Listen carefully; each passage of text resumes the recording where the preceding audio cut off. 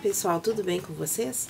Eu trago aqui hoje então para mostrar para vocês a minha abóbora já concluída. Olha que linda, com detalhe ali da joaninha. E todos os demais detalhes, ó.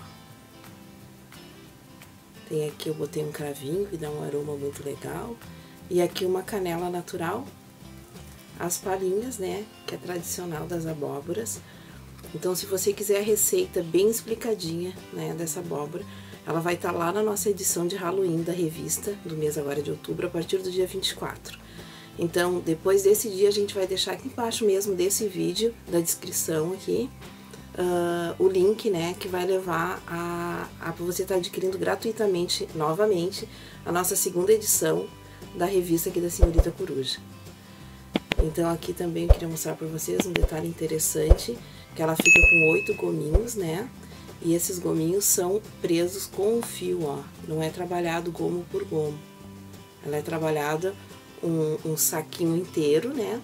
E depois vem essa parte mesmo da, da, da costura fechando toda ela ali.